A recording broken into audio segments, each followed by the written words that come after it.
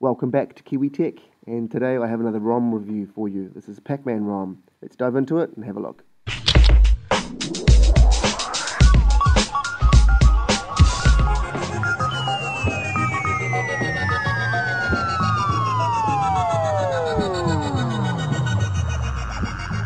Okay, so this is the open source project, which means it's not running TouchWiz. No Samsung features are, are available because it doesn't have any of them on it. Um, so let's have a look at the phone. And straight away we can see there's two panels, left and right. Uh, this is Paranoid Android, which is Pac-Man ROM. This is by XDA forum member Gararik. Now, this is probably one of the most highly customizable ROMs you can have on a device. And as you can see, there's left and right panel there. And with on the left panel, we have the menu system. And on the right panel, we have one step on that system. So if I click on users, the right-hand panel shows us one step beyond that level. Now you can see themes, launcher, lock system, hybrid, which means we can change the device's UI uh, and the DPI.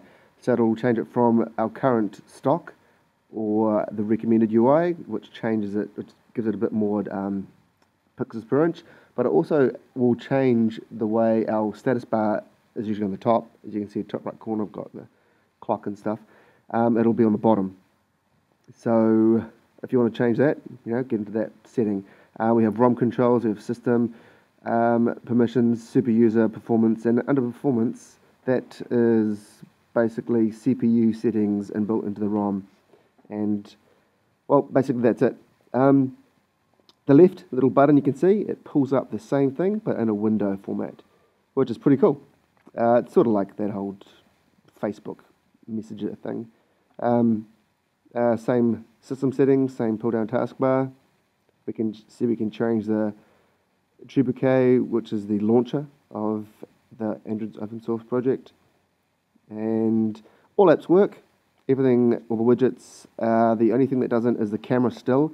Um, it does work slightly more. I think they've obviously worked on a little bit. But there are two predominant people making ROMs. There's three ROMs available.